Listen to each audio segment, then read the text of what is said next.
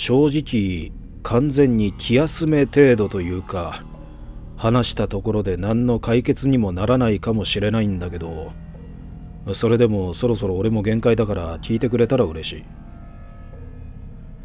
ひょっとしたらこれが俺の遺言になるかもしれないからなおさらに。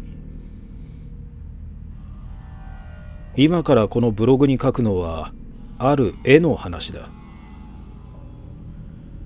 俺の画力がたかが知れたレベルだっていうのはブログの読者のみんなは知っていると思うんだけどこれでも一応一時期はマジで絵の道を目指してみようと思ってた時期があったのね。イラストレーターじゃなくて硬派に油絵とかそういう方向。俺のおばさんの趣味が油絵でさすっごく絵を描くのがうまくていとこの家に行くたびに見せてもらっていたっていうのが最大の理由かな。いやほんとアマチュアにしとくのがもったいないって思うくらいうまかったの。リンゴとかブドウとか家とかの無機物だけじゃなくてばあちゃんの絵とか母さんの絵とかも結構描いてみせてくれてね。子供心に俺自分もそういう絵が描けるようになったら嬉しいなって思って。だからまあ単純なんだけど中学高校では美術部に入ってた。中学の美術部はほとんど名前ばかりの部活で予算もなかったから本格的に油絵ができるようになったのは高校からだった。高校の美術部はそこそこ盛んで美術の学校をきっちり出て勉強した顧問の先生が熱心に指導してくれたし油絵の道具も予算で全員分買い揃えてくれたりさ。至れり尽くせりだったのね。先輩の中にはコンクールで入賞したような人もいた。俺もそうなりたいなと思いながら毎日一生懸命絵を描いてたんだよ。でここからが本題。美術部だから引退も遅くて俺は3年の半ばくらいまで在籍して絵を描いてたんだけどその3年生の時に出会ったんだよな。あの絵に。なあ見ろこの絵。すごいだろ。うちのおじさんにうちのじいさんに譲ってもらったんだ。見た目だけなら体育教師と間違われそうな若くてはつらつとした顧問の先生。うん名前は A 先生にしとくか。性別は男な。部活が始まるって時に一枚の絵を持ってきて部室に飾ったんだ。何でも先生のじいさんから譲ってもらった絵だったらしい。タイトルは「昼と夜の間」作者名はわからないってことだったけどそんなこと俺たちはどうでもよかった。一目見てその鮮やかな筆遣いに魅了されたもんだから。それは遠近感がある絵の奥の方に続く長い長い道を描いた作品だった。奥の方に深緑色のドアがあってそこから手前に向かって道が続いてんのね。ほんで奥の方は藍色の見事な星空が広がってんの。それがどんどんグラデーションがかかっててオレンジ色に変わっていき絵の手前の方はもくもくと夏の雲が湧き立つ青空になってるってわけ。時間の流れを示した絵なんだろうなって思った。手前から順に昼の時間から夜の時間に変わっていく刹那を深い空の色と奥行きのある道だけで表現した絵道はドアに近い場所ほど枯れ草しか生えていないんだけど手前の昼に近づくにつれ青々とした草木が茂って緑豊かになってるのね。俺の貧困な語彙で描くと何ともシンプルでつまんない絵に見えるかもしれないけどとんでもない。とにかく色使いが見事だし何よりドアも道もまるで写真みたいなんだ。本物そっくりで空の中に浮き上がって見えるほどなんだよ。サインも何も入ってないけど誰が書いたのかわからないのがもったいないなって本気で思った。俺のように絵に見せられたやつは他にも数人いてあまあなんか抽象的な雰囲気の絵だったし興味なさそうなやつもいたけどね。先生が壁に絵を飾るとしばらくの間その場でワイのワイの騒いでたもんだ。先生によればこの絵先生のじいさんの家の倉庫に眠ってたんだ。もったいないよな。こんな見事な絵が飾られることもなく暗くて冷たい倉庫の中で埃かぶってたんだから。この間帰省して田舎の倉庫掃除手伝ったら出てきたんだよ。じいさんもまだあったのかこの絵みたいに驚いてたから。見たことがなかったわけじゃないんだろうな。倉庫に放り込んで忘れてたってわけだし。すっかり絵が気に入った A 先生は譲ってくれるようにじいさんに頼み込んだらしい。どうせじいさんの家にあっても倉庫の中でほったらかしにされるだけ。下手したら捨てられちゃうかもしれないと思ったんだろうな。有名な作家の絵ならともかくサインも入ってない無名作家の絵じゃ売れたところで二足三門しかならんのだろうし。でも最初はじいさんに渋られたんだそうだ。どうせ飾りもしないのにどうしてって A 先生が聞くとじいさんは。この絵うちの父さんのもので父さんに一度だけ見せてもらったことがあるもんなんだが、ね、父さんが言ってたんだ。見事な絵だがあまりこれを人に見せない方がいい。来るぞって。父さんがどこでこの絵を手に入れたのかは知らん。何が来るのかも教えてくれなかった。ただ父さんは昔からこう鋭いところがあるというか霊感の強い人だったからな。何か私にはわからないものを感じていたのかもしれんな。なんてことを言っていたんだそうだ。ますます A 先生はこの不思議な絵が欲しくなってしまった。A 先生絵も好きなんだけど同じだけオカルトも好きな人でそういう曰くありげな話はむしろ逆効果だったんだろうな。んで、家にしまって時々見る程度にするってことを条件に譲ってもらったんだそうだ。まあ、もうお分かりだろう。先生はその約束を速攻で破って学校に持ってきちゃったわけだ、A を。でも確かにこんな見事な絵、みんなに見せないのはもったいないって思うのも普通だよな。約束を破るのはどうかと思うけど、俺は別に絵に対しておかしなものは何も感じなかったし、特に怪しいものが書かれてるというわけでもない絵だ。別段気にする必要もないだろうと思いながら、あまりにも写実的な道はどうやって表現しているんだろうとまじまじと見つめたりしていた。あの緑色のドアの向こうには何があるんだろう。異世界にでもつながってるのかな？なんてちょっとワクワクしたりしながらさ。大間が時って知ってるか？夕方の時間帯ってのは魔が闊歩する魔に出会うこともある時間だとされて恐れる考えがあるんだよな。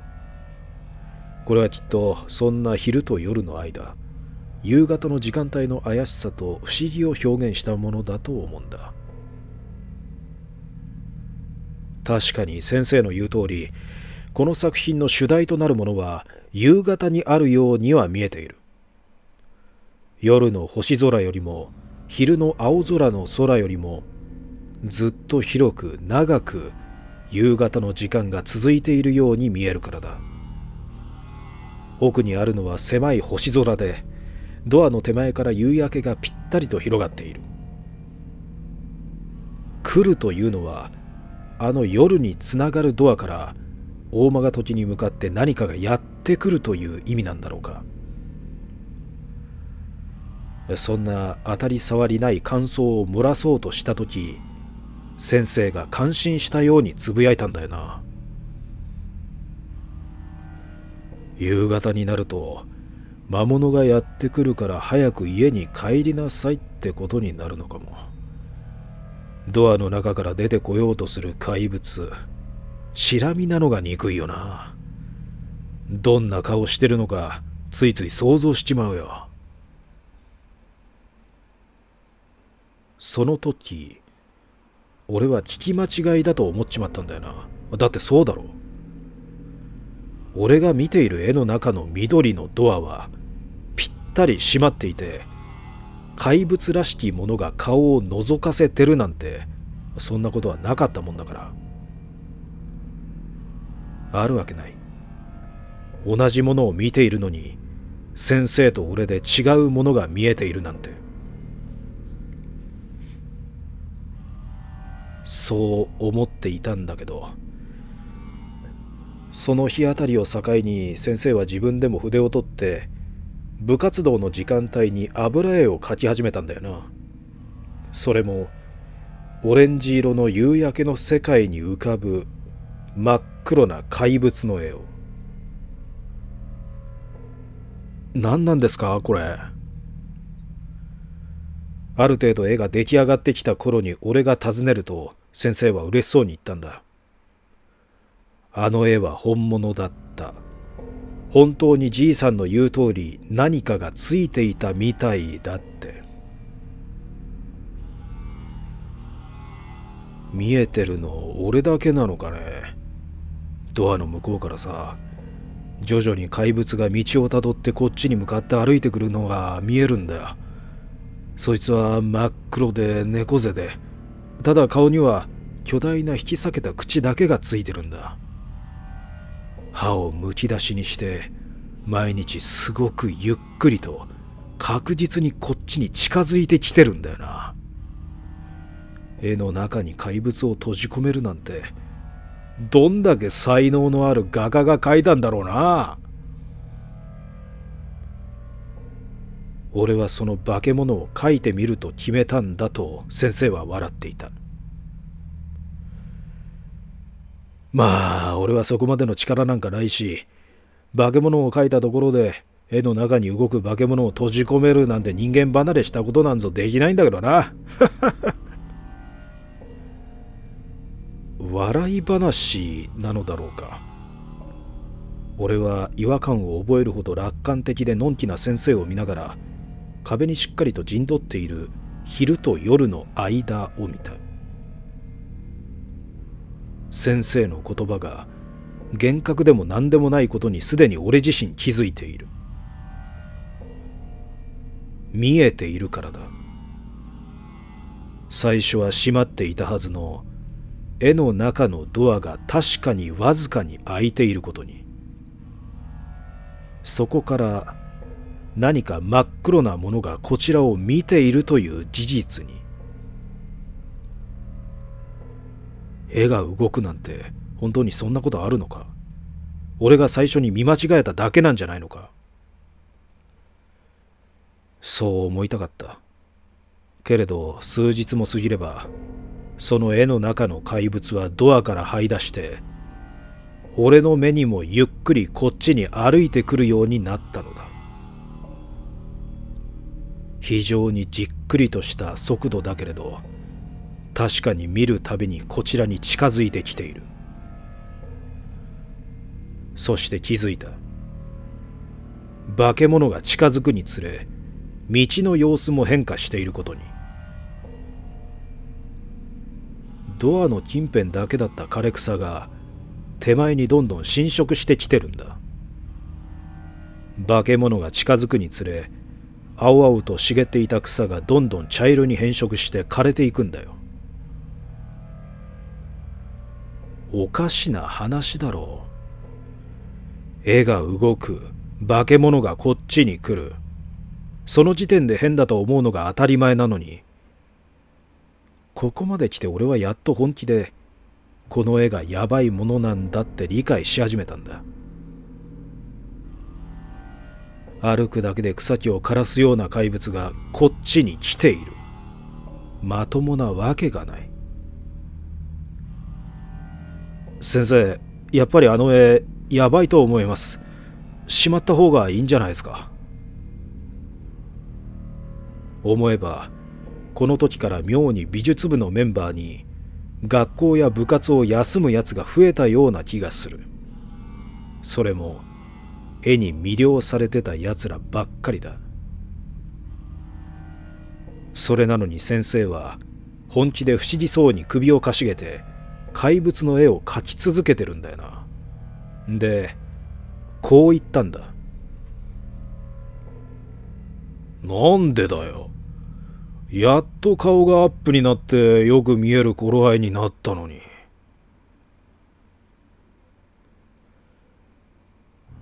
この少し後に俺は美術部を引退することになりそれから美術室に近づくこともほぼなくなった。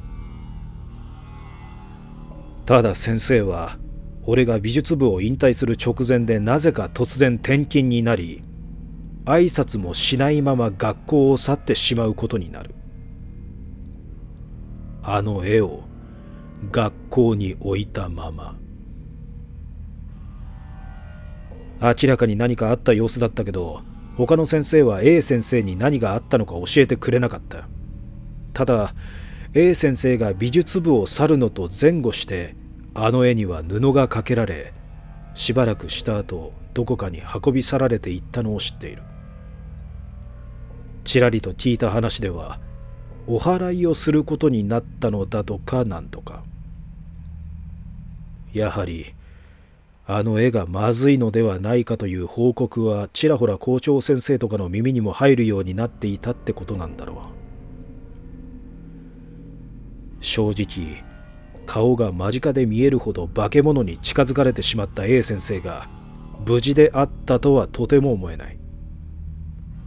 そもそもただの転勤なら油絵のセットもあんなに大事にしていた絵も学校に置いたまま挨拶もなしに急にいなくなるなんてするわけがないだろう。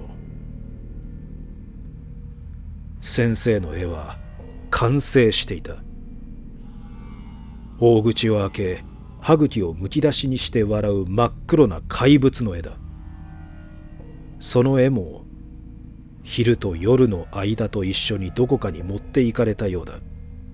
それもお祓いするべき対象ということになったのかもしれない。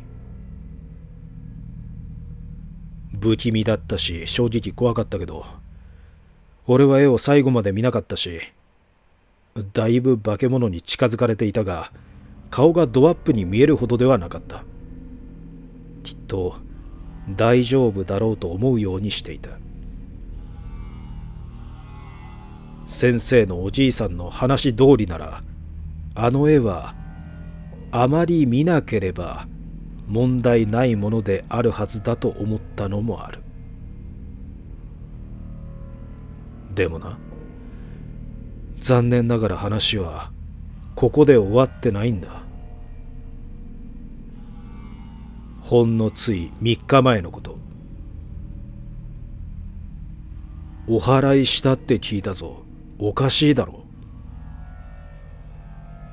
その昼と夜の間の絵な。今俺の手元にあるんだわ。絵にあんまり興味ないはずのかみさんがネットオークションで買っちまったって言うんだよ。で、こう言ってるんだ。綺麗な絵よね。奥に星空、見事な夕焼けに手前の青空。あのドアから何かが覗いてるっていうのがすごく象徴的だわ。高校卒業してもう10年以上も過ぎた今になってどうしてこんなことになっちまったのか俺にも全くわからない。確かなことは一つ。かみさんがドアから何かが覗いてるって言ってるその絵俺にはもう夕焼けもドアも道も何も見えないんだよ。絵一面がニタニタ笑う巨大な口で覆われているせいで。とりあえず今日はここまで。近いうちブログの更新が途絶えたらいろいろと察してくれそうならないことを切に祈るけど。